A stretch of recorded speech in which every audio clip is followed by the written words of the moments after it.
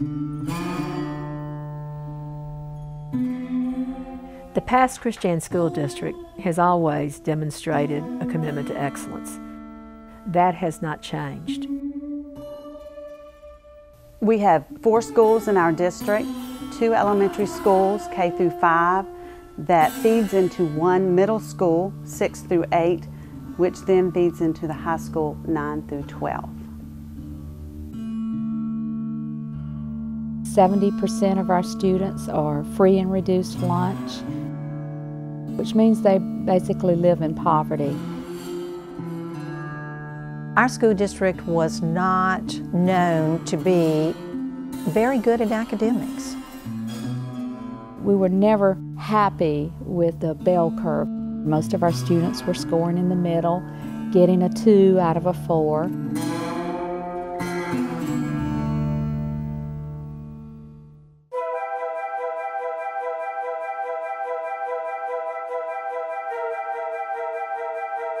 When our scores came back, we were tops.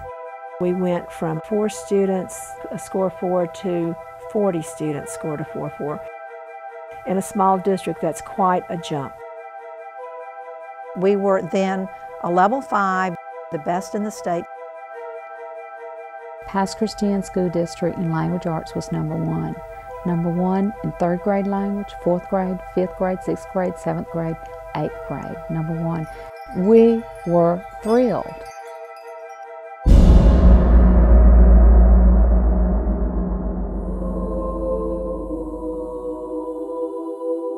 To put it in perspective for a kindergarten and a first grader, not having any idea that this would come to be, to say to them, if we come back to nothing, what would you have wished you had? The wind actually took the trees and just stripped them of all color. Everywhere you looked was this endless brown, this endless gray. As one of the principals said, we lost everything. We lost our homes, we lost our schools, we lost our town. But our children did not lose the ability to think.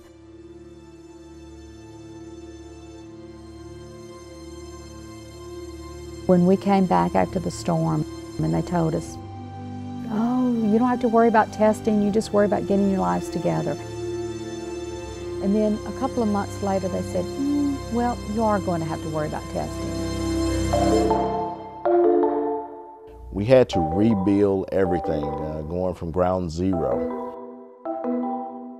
26 trailers were bussed in from FEMA. So we had two teachers to a classroom, students, you know, elbow to elbow, and we ate lunch in the gym, on the floor, out of paper bag lunches.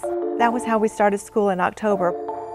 When our test scores came back, our standardized test scores, even though we had lost six weeks of school, the elementary level, seven weeks at the high school level,